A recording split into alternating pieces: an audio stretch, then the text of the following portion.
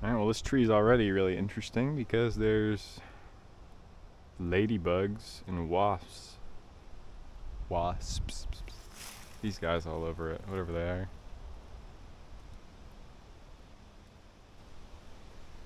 A little spooky.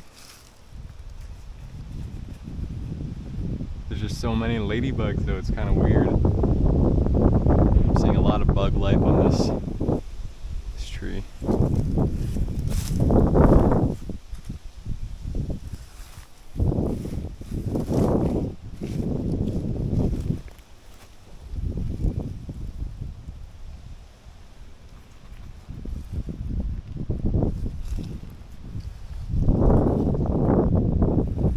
Hopefully these guys don't get annoyed.